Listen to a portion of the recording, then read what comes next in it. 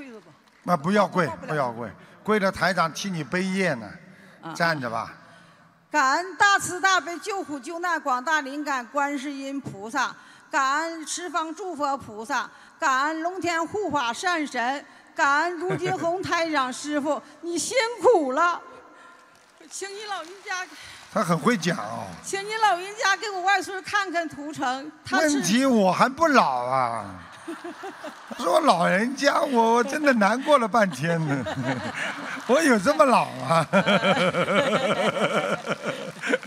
哎呀，他他是二零零九年十一月一日生，属牛的，今年六岁了。他生前是缺氧窒息，产前拽出来的，后遗症是现在还不会讲话不，会讲话，完多动症严重。看见了师吗？开示，啊就，先说这台上。我讲话你不要不开心啊！不能你说吧，这个是个小鬼呀、啊本来不应该到人间来投胎的，是啊他逃出来的，啊，哎呀妈，那那我该怎么办呢？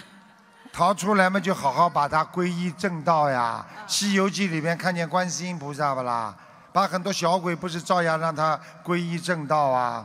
明白了吗？嗯明白。这是个小鬼呀、嗯，所以你现在开始每天给他念经，念经，他以前我总念，给给你可爱看你的那碟了，他总成天拜佛。嗯，他胆子蛮小的，胆子小，胆子小，他胆子挺大的。在家里啊啊，在啊家里也挺大，我看反正。跑出来胆子就小了。什么都敢动过，有的太多多动太小鬼他是来讨债的，是啊，你是他谁啦？我是他姥姥。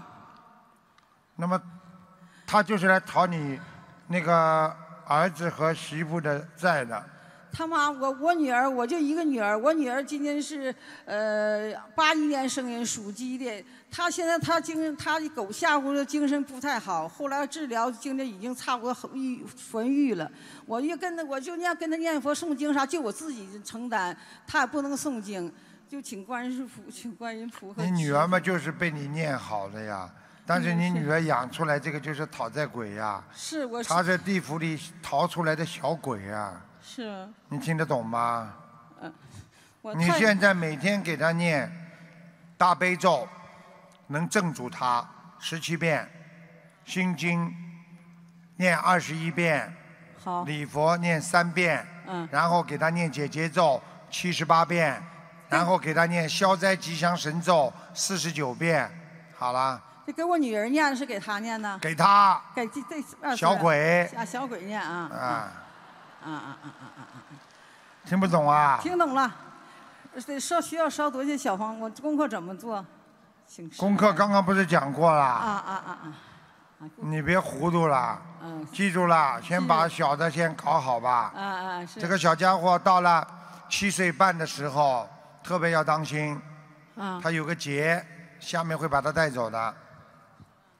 什么时能会说话呀？关键。七岁半的时候有个结，下面会把他带走的，啊。听得懂吗？啊。说话了，小鬼叫他说话必须要有户口，他现在人间没户口，你得求观世音菩萨，我都没办法，听得懂了吗？成天求观世音菩萨，原来他是叫季新德，现后期改名叫季坤九了。我我现在是名字没有用的，啊。你记住了，他是啊。顶替人家一个啊。死掉的人逃上来的。是。你们家族里边有没有一个死的比较冤枉的人呢？那不清楚，反正。不清楚，啊，有没有自杀的？不太清楚呢。哼，你老公辈辈儿上的就有一个，好像跟铁路有关系，是。啊好像被火车压死的，也不知道怎么自自己卧在铁轨上的，是。啊明白了吗？明白好啦，嗯这小家伙就是顶替他来的。是吧？好啦，你给我女儿看看呗，我女儿你们每个人都这样，人家不要看啦，赶快啦，你不要让台长。好嘞，好嘞，